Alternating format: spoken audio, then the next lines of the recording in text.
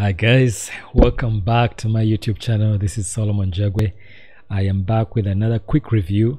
Uh, this time we're going to be talking about the recently released uh, bridges, you know, from DAZ 3D. So this, uh, I can't say enough how awesome it is, you know, as uh, filmmakers and uh, storytellers, especially as indie filmmakers. I always make that distinction because uh, professional studios might this is not a path they usually take. They have teams on in-house. They build all their models and everything right? But when you have an idea when you have a story that you want to tell i think DAZ 3D uh, is a great resource to start because they have so many good characters and environments that you don't have to be a, a 3D modeler or animator to start with, but at least you can have a starting point to get a character that you can then use as a concept that later you can build on into a full-fledged short film or even a full feature. When you get funded then you can afford you know to pay for a whole team of animators and 3d modelers. Yeah. So i love using through going through here and especially because i'm i've worked for a while as an art director and i try to quickly put things together so that i can share with the team what the idea is going to be. And so what DAZ 3D has done is that they've created these bridges that can take these models in from DAZ 3D to Maya, 3ds Max, Blender, and Cinema 4D.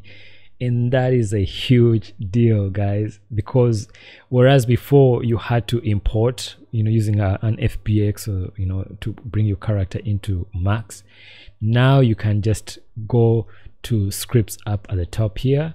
Go to bridges and then simply send this. You're gonna see how cool it is. You can send send it directly into 3ds max blender and maya. I don't i haven't installed the one for cinema 4d but i can show that later on.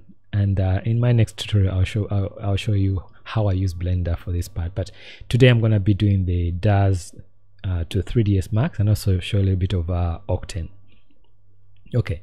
So this is the character that i picked for our test today. He's uh called the dweller hd character and he's really scary.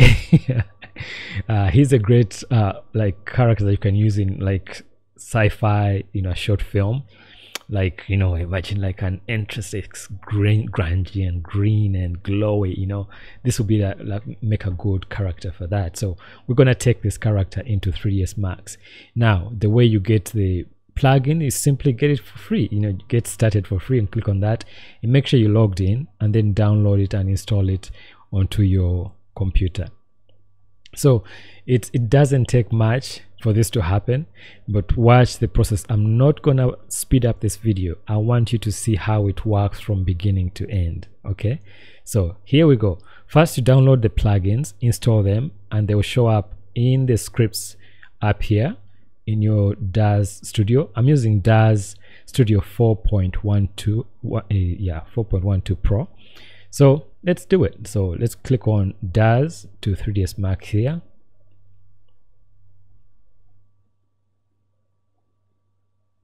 and it's going to go through the process. Uh, it prepares you know the materials. And actually what i should have done i should have turned off my iray uh, that's a mistake i made because it takes a little bit longer when that is on. So just keep that in mind that make sure you turn off your iray before you you ex, uh, export.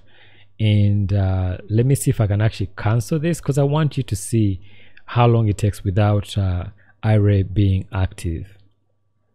All right i've turned off iray uh, let's go through the same process again. And uh, so here is the character. Make sure it uh, the character is selected in the scene view. Uh, so ready? So we go script bridges DAZ to 3ds max. You click on that and this is with the the iray turned off uh, that's a mistake i made earlier on. And i've seen this enough times to know it takes a while if you don't turn off uh, iray so make sure it, your iray is turned off. And you see how long it took? It's it took seconds. Now this might be impacted by how fast my machine is. Uh, so on your depending on what machine you have it might take a little bit longer. But you saw how long it took. It didn't take very long on my machine. So we go over to 3ds max.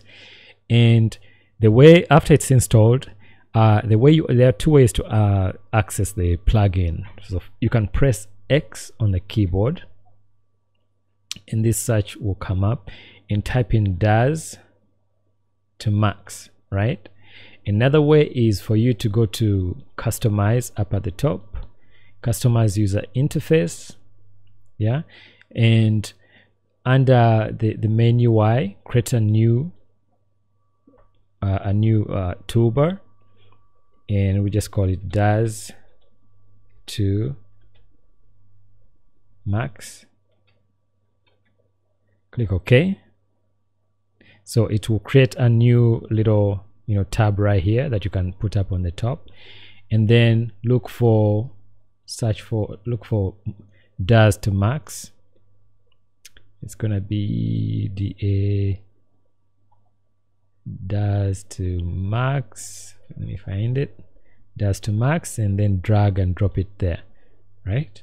So now you, whenever you open your 3ds max file or rather your session it will be here and you can drag it and put it up at the top. I've already put it mine up at the top here. So go ahead and click on that. And then click on auto import. This is the crazy part because i thought it was gonna be take a long time but watch what happens and if you have V-Ray, I mean, you can do the conversion of the materials when the time comes.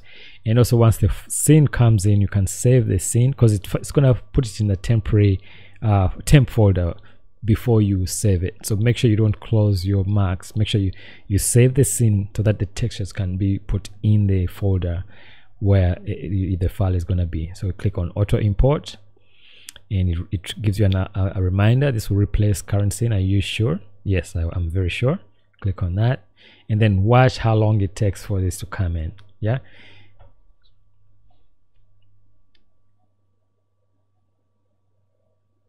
and again depending on how detailed the character is like if the character has uh, hair shoes and clothing uh, it might take a little bit longer this character that i picked uh, is just uh, like one body really because it's uh, like an alien dude I don't, think he came from Mars, wherever he came from with his suitcase or something, but he's semi, you know, empty, like he has no clothing, he's naked. So give it a chance to process. And it didn't take very long. I mean, this is the cool thing about this uh, plugin.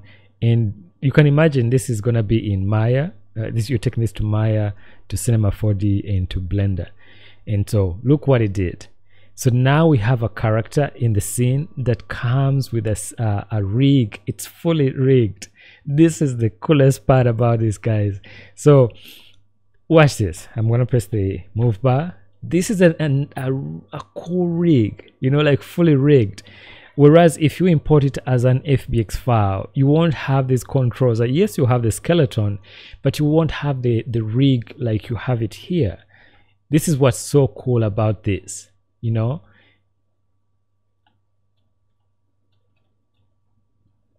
Look at that. Look look at that. You know fully rigged the blend shapes uh sorry the weight mapping is looking great. So that's why i highly highly recommend that you use this DAZ to Max, DAZ to Maya, DAZ to Blender, DAZ to Cinema 4D plugin because you're able to use this. And you know what this the rig is? Is not the biped rig that is in 3ds Max. It actually is the CAT rig. So it converts it into a CAT rig that you can then animate with a walk cycle, running, uh, path following, and all that. And I'll do a different uh, tutorial for that. But for to, for now, I just wanted to point out how cool this plugin is DAZ to 3ds Max Bridge. This is awesome. This is awesome because this makes it possible to bring all your characters from DAZ Studio into 3ds Max. And I think, let me do a quick check. Oh, wait. First, we have to save the scene. So save scene with the textures and I'm gonna put, I'm just gonna do like a demo folder here and we'll call it a test. and we'll give it a name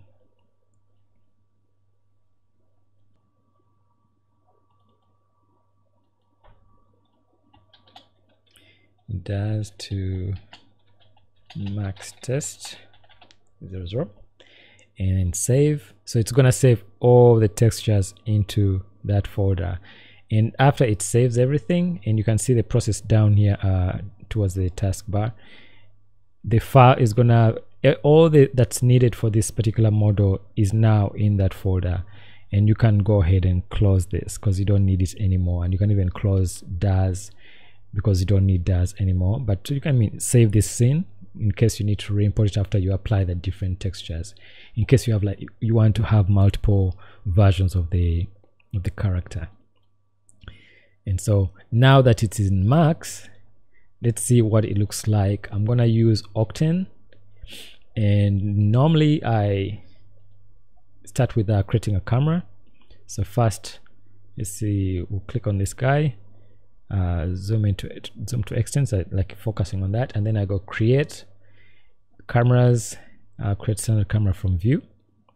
All right now I have a camera. And then I can actually go back up uh, go to select select camera. And we can change the lens to like 200 millimeters. Let's pull back a little bit. Yeah so this is our scene now. Okay. Now let's see what it looks like in uh, Octane so go up here on the render setting setup. I'm gonna switch from scanline to Octane 2020 and the cool thing about 2020 uh, there was a time when you had to convert the materials of every scene that that was that you opened. But now it actually recognizes standard materials that are on any character so what's neat? So if i click on open the view tab rather the render the viewport and let me switch to perspective zoom out and let's create a light. I'm gonna use a octane daylight and bring it from the front and move it up all right now we can go straight to we can actually switch to our camera.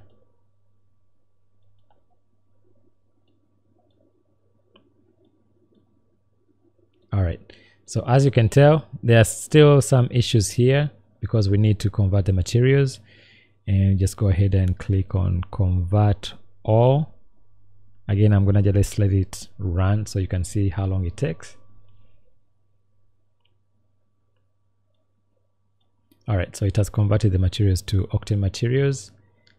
And right now or so this is where the look dev comes in. And that's the beauty of uh, octane is that that's why i love it is that now i can start beautifying this shot okay so now i can zoom in and you can see the teeth right there. All right so after I'm done I mean this is I can always go further to edit the the texture. Like I know for the skin for sure it needs a little bit more glossiness but this is a cool thing about uh, the plugin and I hope it uh, it helps you navigate. I think in my next uh, video I'll try to show you how I'm able to refine the texture because if it this is what it looks like by default uh, we need to you need to see how it actually looks in the final final final look. All right guys uh, i hope that was helpful. Please don't forget to subscribe and hit that notification bell so you're alerted when i post a new video. And uh, again i hope that uh, this inspires you to you know venture out and uh, ex, you know export your characters from no send your characters from Daz uh, Studio to Max using the 3ds Max Daz to 3ds Max bridge uh, thank you so much and see you next time. Next time I'll show you how I was able to beautify this shot and uh, added some animation. Uh, see you next time. Thank you so much guys.